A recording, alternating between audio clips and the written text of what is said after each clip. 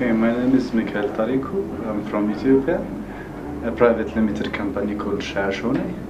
Our company is engaged in commercializing social impact products. The products that we call social impact are uh, low-cost water filters, uh, which are bundled with uh, Dutch uh, filtering technology. And the other is uh, hermetic grain storage bag, which is 100% chemical free and uh, an innovation of Purdue University from the US. We have been commercializing these products uh, by using new business models uh, for the last five years. It has been five years since we started commercializing the hermetic grain storage bag. And for the water filters, uh, this year is our third year commercializing the, water, the low-cost water filter products. For both of uh, the products, our target beneficiaries or our target market is the rural households. In order to reach these rural households, we are using uh, a number of uh, approaches. The major approach uh, to reach to the rural community or to the bottom level, to the bottom level of the pyramid, which is the majority of the people are at the rural society in Africa. So in order to reach uh, those communities, we are following approaches of partnering with government organizations like the Ministry of Agriculture, the Ministry of Health, and also partnering with non-governmental uh, organizations like the USAID, uh, SNV, CRS, and currently we are also uh, trying to partner with a big institution which has a big risk, uh, recognition in the health sector, which is AMREF.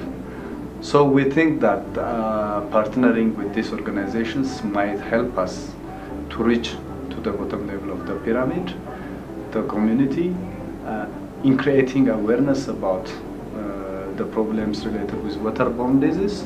So if they know about the problems related with waterborne disease, they will be uh, they will demand for our products, which is the water filter.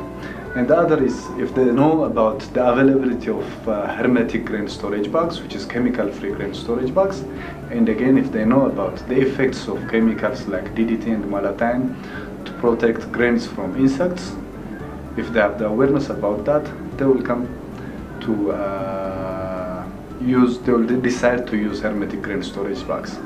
So we are following an approach which is a little bit mixed.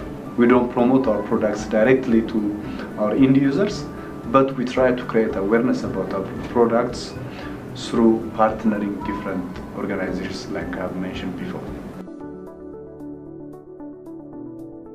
Yeah, if you if you see that uh, from the perspective of the community, like in sub-Saharan Africa, between 22 to 30, uh, around 30 percent of what is produced is lost after harvest.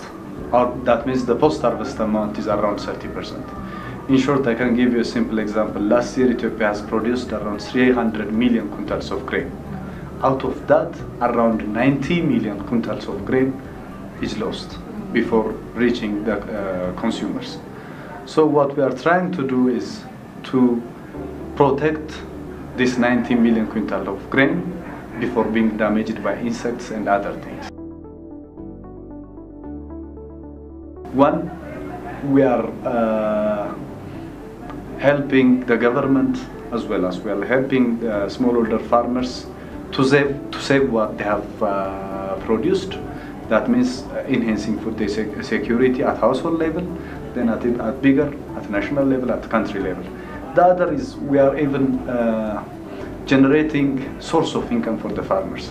Like mostly, as you know, if you sell crop just after uh, harvest time, the price is too low because all the farmers harvest and they sell it at that time, the price will be very low. So we are giving a chance for the farmers to save the grain for latter time, five months, six months. Then when they sell it at that time, the price will hike.